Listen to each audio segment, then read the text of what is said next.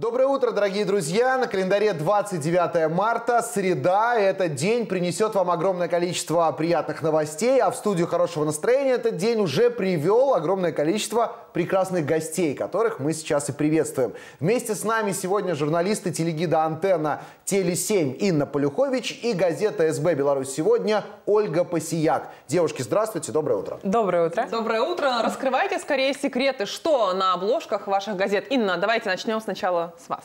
У нас на обложке угадайте число людей. Вот начнем отсюда, издалека. Количество людей. Заставлю вас угадывать, да. Но нас с Сашей двое, в студии сейчас четыре человека. Если поделить одно на другое, вы, я думаю, что три.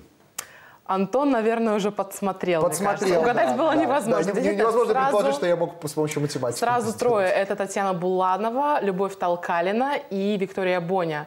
И все они собрались в нашей обложке, Тать- подожди, чтобы... Татьяна Татьяна Буланова Буланова. и Виктория Боня, вы Да. очень правильно сделали, же? что между ними по- поместили вот такой вот промежуточного А между человека, прочим, у них их намного объединяет. больше общего, чем может показаться, потому что все они недавно пережили развод и сейчас рассказывают, что жизнь после развода есть, и эта жизнь не так плоха. Ну что они говорят, да, что они говорят? Может быть, они развелись с одним и тем же человеком. Может быть, один и тот же человек Нет, их мужчина у них был, между прочим, разные. Разные. были ну, давайте мужчины. так, на вскидку, кто? Э, Ну вот, например, э, Татьяна Буланова Так. была замужем с футболистом 11 лет.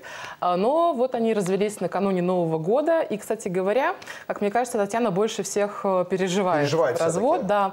Уезжает в Испанию к морю, читает на балконе. Ну, как может, так справляется. А вот Виктория Боня, мне кажется, она вообще уже забыла. Так. Да, ведь Алекс Мерфит из Монако, миллиардер, от нее Это вот с ушел. ней был Ну, миллиардер. она из была замужем, поэтому, поэтому Он она, от нее ушел к да? юной модели, похожей на Викторию как две капли воды, кстати говоря. Э, Но Виктория Боня долго не горевала. Она взяла свою дочь, их общую, улетела в Лос-Анджелес и уже собирается замуж. Может себе У позволить. нее уже новый, э, да, супруг будет очень Фантастика. скоро, да, вот. А говорят, что женщины годами убиваются. Нет, Подожди, это не а так. они, они говорят, значит, что отлично быть разведенной, и при этом я уже счастливая собираюсь замуж. Я правильно понимаю? А, да. И две, и две эти мысли умещаются в голове Виктории Бони и совершенно друг другу не противоречат. Нет, не Что с противоречит. третьей? А Любовь Толкалина, это бывшая супруга Егора э, Кончаловского, сейчас вся ударилась в омолаживающие процедуры. Причем она не просто омолаживается, еще и выкладывает фото в соцсети э, результатов, Я делится с видел, подписчиками. ей по виду 12 лет. Это, конечно, фантастический да, результат.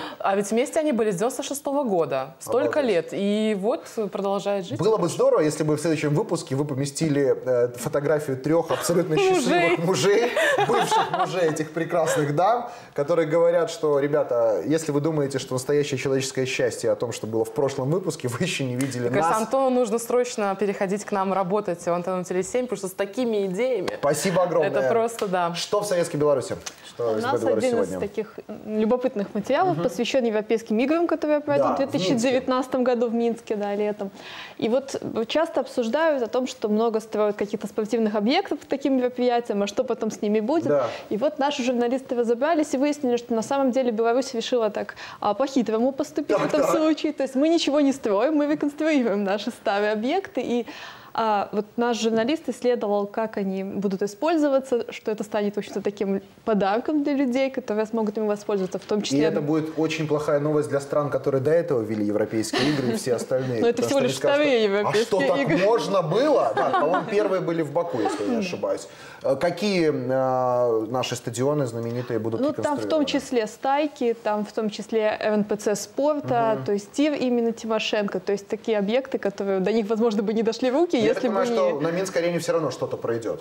Мы без Минской арены никуда не, не, не денемся, Сложно не обойдемся. сказать. Ну, было бы здорово, если бы провели какие-то спортивные масштабные мероприятия и в Минскую арену не заехали. Не все же коту масленица. Инна, э, тут сорока на хвосте принесла, что один из ведущих э, программы «Утро студия хорошего настроения», из парней ведущих, а я напомню, у нас здесь, значит, э, Саша Меженный, Юра Царев и Антон Мартыненко. Вот один из них попал в телегит «Антенна». И кто Значит, бы это мог вопрос от Александра Меженного и Антона Мартыненко. Почему это Царев? И как вообще, что он там делает? Что он вам рассказывает? Ну, во-первых, Антон, у Царева 6 апреля день рождения. Причем это двойной праздник в их семье, потому Так что... вот, что он такой довольный потому последние что- полгода ходит. Потому- что он родился в один день со своей женой. Это у них совместный Красиво. праздник на двоих. Это красиво. Но Да. опять же, это не его заслуга, это заслуга родителей его и родителей. Ну какое красивое совпадение. Да, красиво. Празднуют они теперь красиво, уж поверьте. А как Мы они знаем, празднуют? Юра в этот И время что он работает дарит никогда. своей жене, какого цвета эти бриллианты, можно прочитать на страницах антенны. Ну, а вообще, расскажи, пожалуйста, ты же делала с ним интервью, Да, да? Как мы, мы нашего коллегу Юру Царева вот э, в качестве интервьюируемого вообще не знаем. Вот он как на, на вопрос-то сам отвечает. Мне кажется, что э, Юра это один из лучших интервьюируемых возможных. Людей? Потому что э, он настолько же разговорчив, как э, и ты, Антон. Это, это большой плюс, конечно, для Царева, да. Например, рассказал, кстати говоря, что вот все же знают, что он занимается спортом. Ни для кого это, в общем-то, не секрет, но оказывается, он не только занимается сам, но и тренирует свою дочку, Да. которой 12 лет. И этот ребенок уже достиг таких успехов, что может ударом колена свалить взрослого мужика. Но если Ну, речь... это Юра например. Если речь Да, да. про Царева, да, Папа выполняет функцию груши, как сам Юра признается. А что еще будет? Я знаю, что есть кулинарная рубрика. Поделитесь, вот люблю я А готовить. могла там ведь есть? сегодня прийти с пряным кофе. Так. Потому что именно пряный кофе будет э, в сегодняшней кулинарной рубрике. Да и вообще все блюда с пряностями. Например, плов с сухофруктами. Или рыба решили под по- по арахисовым нашей соусом. Вы представляете? Да, совершенно верно. Но пряный кофе – это нечто. Я уже попробовала, честно скажу, приготовить. Это что-то невероятное. Какие там ингредиенты, либо нужно все-таки прочитать? Все это вам расскажи. Конечно, Кофе, нужно прочитать. Пряности. Пряности. Необходимо конечно, которая все это дело будет пить. Инна совершенно не обязательно для того, чтобы приготовить в домашних условиях. Но кофе, пряности и еще кое-что пригодится. Кое-что. Я знаю, что какие-то у нас э, новости в мире метеорологии. Э, Беларусь что-то строит. Я знаю, что об этом пишет СБ Беларусь сегодня. Не то чтобы строит, мы открываем на базе Академии наук а, Центр климатических исследований, чего, Так. в общем-то, не было в Беларуси. У нас обычно только погоду прогнозировали. А сейчас будут исследовать климат. И, в Сейчас о- огромная новость для многих наших зрителей, что климат и погода это две разные, оказывается, На вещи. самом деле это очень важно, потому что будут исследовать не только в мировых масштабах Так. и в Беларуси. То есть как у нас меняется климат, чего ожидать. Это важно ну, не просто для какой-то научного интереса, а важно для таких сфер, там, как сельское хозяйство, туризм. В этом тексте есть еще такие интересные факты научные. Например, развенчивается миф о том, что наши белорусские болота — это легкие Европы. Так, на я, самом, я сам этот миф пропагандировал вот до этой минуты всем подряд. А на самом такое? деле, к сожалению, это не так. Почему? Я думаю, почитайте в этой статье. Немножко переоценивают Простите, их я не буду читать. Я вот п- продолжу вот в неведении Давайте жить. Забудем, забудем, и будем дальше думать. То есть бел- наши болота это не легкие Европы. Э, ученые- просто, что это легкие всей планеты. Вот. Нет, ученые, к сожалению, говорят, что они не спасают ситуацию, поэтому...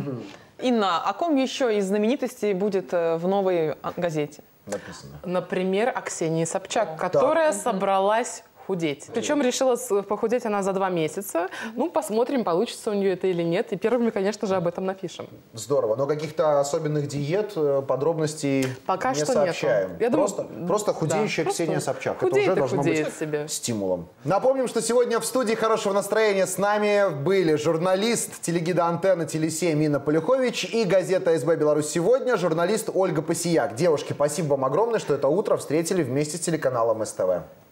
Спасибо вам большое. А в студию хорошего настроения мы вернемся после небольшого перерыва.